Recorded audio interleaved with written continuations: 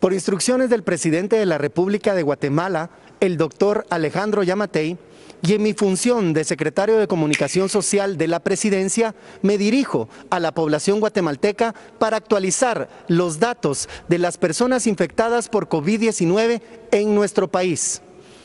Hoy, jueves 16 de abril, a esta hora tenemos 18 casos nuevos confirmados por el Ministerio de Salud Pública y Asistencia Social, de los cuales son 13 hombres y 5 mujeres. Todos los pacientes ya se encuentran en los hospitales temporales habilitados para atender únicamente COVID-19, siendo también atendidos por todo el personal de salud que está asignado a estos hospitales. Lamento informarles que se agregan a la lista de personas fallecidas dos más, una mujer de 74 años de edad y un hombre de 39 años, el caso comunitario precisamente que teníamos en Patsum. Esta lamentable noticia nos llama a la reflexión para comprender que el virus no distingue edad, género, condición física ni estatus social y que definitivamente puede afectar a cualquier persona como lo está haciendo a nivel mundial y Guatemala no ha sido la excepción, por lo que debemos de tomar conciencia, cuidar nuestra salud y cuidar la de todos nuestros seres queridos. Quiero informarles también que dos personas más se encuentran ya dentro de la lista de recuperados. Para hacer un total de casos, 214, tenemos 21 personas recuperadas, 7 personas lamentablemente fallecidas y 185 casos activos actualmente que están siendo tratados en los hospitales asignados para COVID-19 y como mencioné, tratados por esos esas personas que están al frente combatiendo COVID-19 junto con los pacientes que son los médicos, enfermeras y todas aquellas personas que están luchando por salvarle la vida a nuestros compatriotas. Dentro de las pruebas realizadas,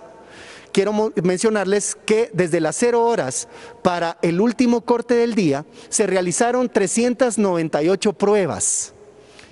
Es importante mencionar que Guatemala se encuentra trabajando junto a las autoridades de los Estados Unidos de América para revalidar el estatus de salud de los guatemaltecos retornados en los últimos días. Es decir, se volverá a realizar la prueba a los casos que dieron positivos y también a las personas que dieron negativos desde el Centro de Control de Infecciones de los Estados Unidos, así como en el Laboratorio Nacional de Salud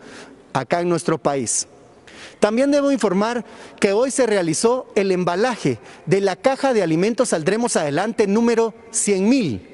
Con esto y con la ayuda del Centro de Gobierno y por supuesto la participación del vicepresidente de la República de Guatemala, el licenciado Guillermo Castillo, seguimos comprobando que se suma no solo la iniciativa privada, sino hay un esfuerzo de muchas personas que se sigue sumando para poder llevar estos alimentos a la puerta de las personas que más lo necesitan. Un esfuerzo que se da en horas del toque de queda o la restricción a la libre locomoción, pero sobre todo el esfuerzo aplaudible del Ejército de Guatemala, la Policía Nacional Civil y la Coordinadora Nacional para la Reducción de Desastres y todo el voluntariado que sigue haciendo efecto que lleguen estos alimentos a estas personas como las demás ayudas que el gobierno tiene preparados para millones de guatemaltecos que sabemos que están sufriendo, al igual que nosotros, en esta crisis tan lamentable que está viviendo nuestro país.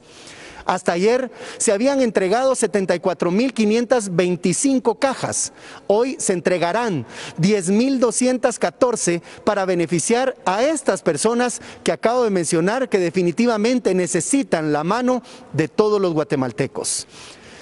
Quiero recordar los mensajes que nuestro presidente de la República, el doctor Alejandro Yamatei, ha dado a la población guatemalteca y parte de ello es importantísimo, la recomendación de quedarnos en casa. Si no es necesario, no debemos de salir a la calle, cuidar a nuestro adulto mayor, la utilización de la mascarilla y por supuesto también cuidar a nuestros seres queridos. Es deber de todos los guatemaltecos poder enfrentar esta pandemia que está en nuestro país y por supuesto salir de ella con la victoria de todos los guatemaltecos. Nuevamente, en nombre de todo el gobierno y en nombre de nuestro presidente, les damos las gracias por estar atentos a los mensajes que se envían día con día de parte de este equipo. Muchas gracias.